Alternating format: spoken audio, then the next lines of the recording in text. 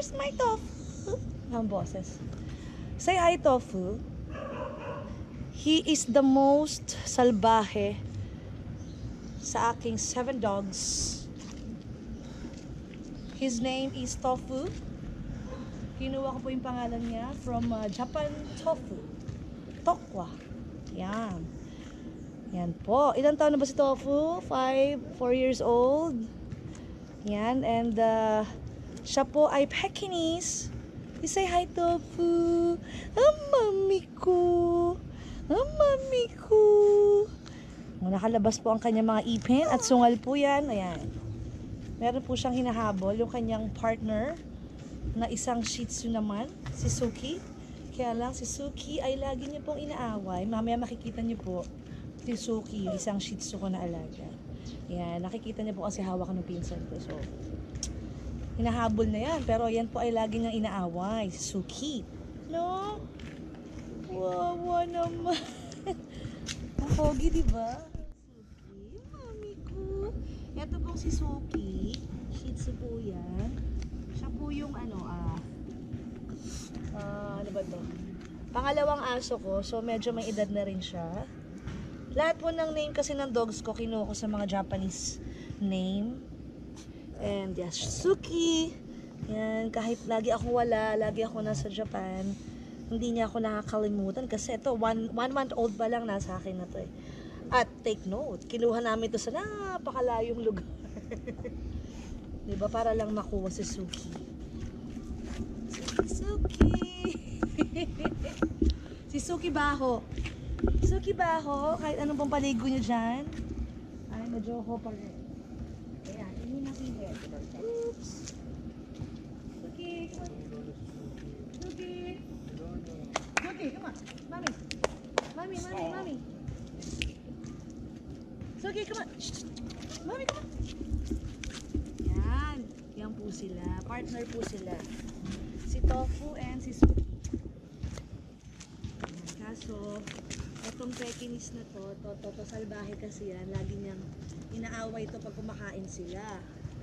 Pero, love na yan. Tofu, may masakin na. Ayun o, cute na asos. Tofu! Ayun, dali. Ay, Suki ko. Suki ko, dali. Okay, okay. Ngayon naman po ay papakilala ko sa inyo ang ah, ang tatlong laging magkakasama dito sa loob ng bahay. Si Lola Tanya. dito ka po. Mamaya na na, mamaya. Baba ka muna. Yung dalawang bulinggit muna papakilala natin. And si Kikay, mag-ina po yan. Ito naman po yung bunso. si Harutay.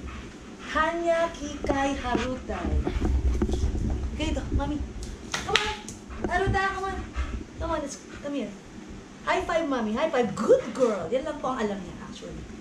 Kato 2 years old ako yan. High five, high five, mami. Ito po yung pinakamalapit sa akin. Yung pinakabulso. Charot. Mhm. Kakahiya yung skin mo, oh. Yan.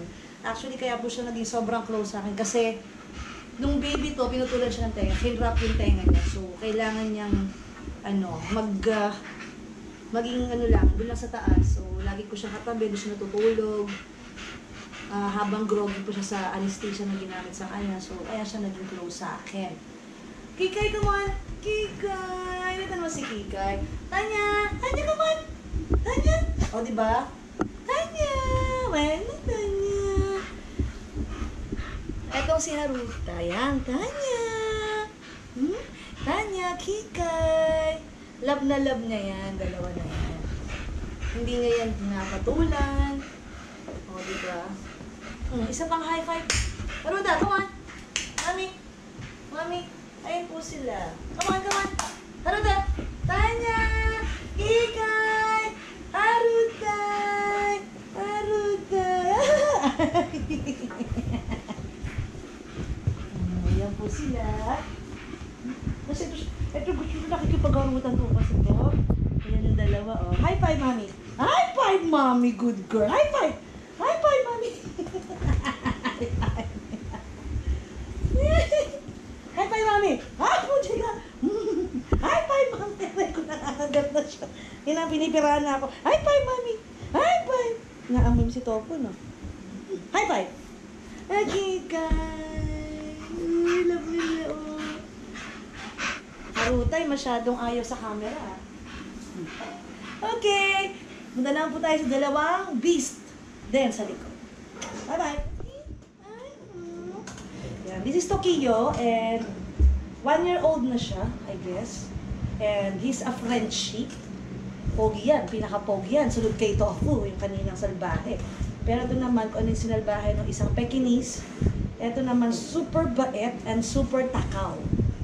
Mm, okay. Ang mami ko! Ang pogi-pogi ang mami ko! Ang pogi! Mm. Mm, pogi, di ba? High five, walang alam. Okay. Gina! Gina! Ay, Gina, mami! Gina! Come on! Ito isa, walang pakialam kasi naghahanap ng daga.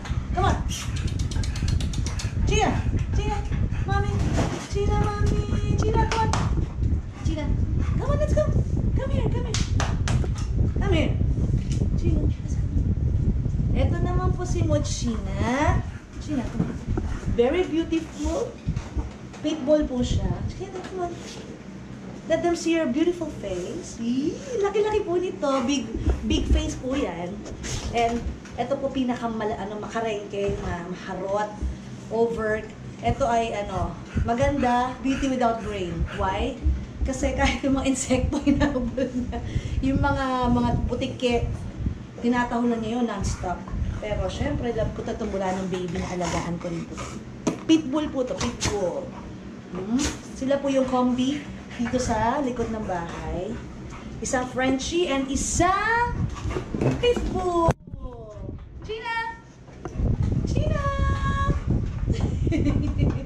Gina, come on, mami. Gina, come on, let's go. Let's go. Gina. Gina, let's go. Hindi. Walang daga dyan. Come on. Shh.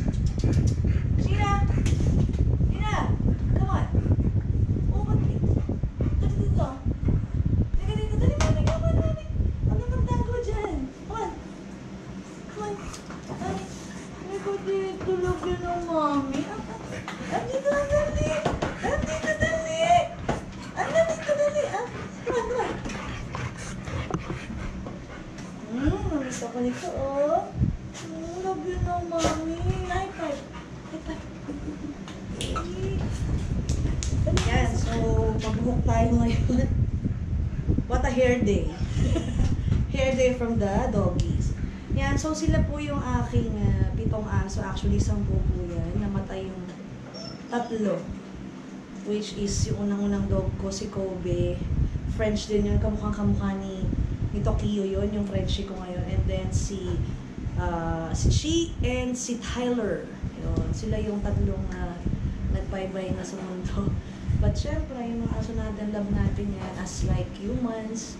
And isa lang yung isa lang yung ma magagaranty ko ako kahit anong stress ko abroad or ano makita ko lang parang akong tanga minsan kasi pag kumakanta ako sa sa kinakantahan ko nagtataka yung mga ka- kako-musicians ko kasabihin nila na sino kausap mo dyan? pag nakita aso lang pala ba pero aso lang pero sobra yung binibigay na happiness so yes from there from nag-start akong mag-alaga ng isang aso until naging sampu sila hanggang may namatay ah, I can probably say na talagang dog lover na ako.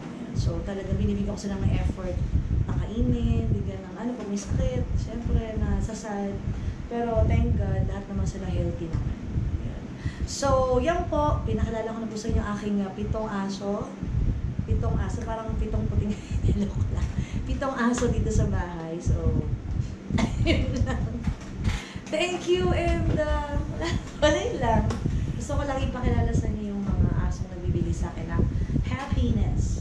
So, till then, sa aking, uh, yeah, uh, vlog ko na. Thank you and